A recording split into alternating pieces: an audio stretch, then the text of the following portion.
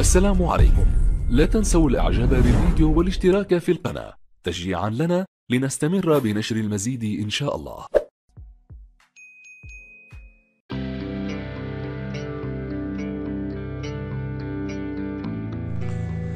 نضغط على زر المنيو الموجود بالريموت. تظهر قائمة. بنضغط على التركيب.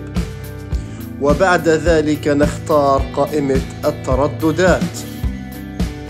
نضغط على زر إضافة الموجود بالريموت باللون الأحمر ثم نبدأ بإدخال التردد وهو 112 سبعة سبعة.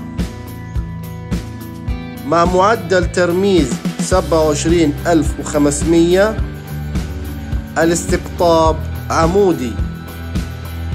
نضغط OK.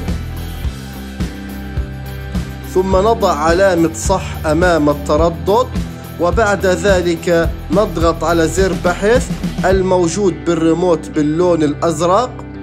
ثم نبدأ بعملية البحث عن جميع القنوات.